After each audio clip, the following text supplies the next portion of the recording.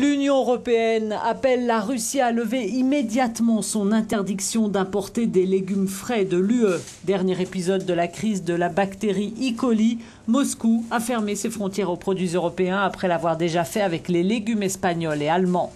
Les légumes européens déjà livrés seront aussitôt retirés des rayons, comme le précise l'arrêté.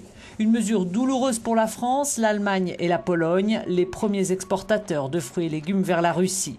Colère aussi du côté de l'Espagne, même si le concombre espagnol a été mis hors de cause. Nous avons agi comme nous le devions et nous allons continuer pour obtenir la réparation des dommages et un repositionnement des produits espagnols sur le marché international. Et les premières interprétations et tentatives de politiser l'affaire ont été une erreur éclatante des autorités allemandes envers le gouvernement espagnol et ça me semble absolument injuste. La guerre contre la bactérie E. coli 0104 est donc en train de devenir commerciale et diplomatique. Le Portugal va réclamer à son tour des compensations.